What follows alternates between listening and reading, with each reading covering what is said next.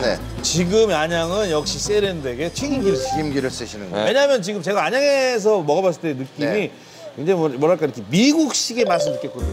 어. 이게 동양 이제 동양적인 이 소스 맛이 아니라 제가 미국을 좀 가봤지 않습니까? 제가 미국을 좀 가봤지 않습니까? 아니 나중에 드셔보세요. 진짜 그런 맛이 나요. 미국 맛이 나요? 아, 미국 약간 서양 맛이 나요. 에이, 저기 죄송한데 안양명인 그 먼 친척이 혹시 미국에서 오셨나요? 캐나다에서 오셨어요.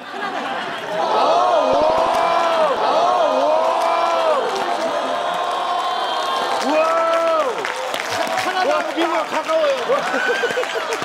카나다하고 미국하고 가깝다고 하십니다. 어, 혹시 밴쿠버에 사시나요? 밴쿠버요. 웬만. 아니 웬만하면 다 밴쿠버에 사세요. 밴쿠버 아니면 토론토지 뭐. 아, 그렇죠. 진짜 드시면 일단 소스가 스테이크 소스 비슷한 느낌이 나요. 맞아, 맞아. 아, 너무 먹어보고 싶다. 고급스러워서. 어.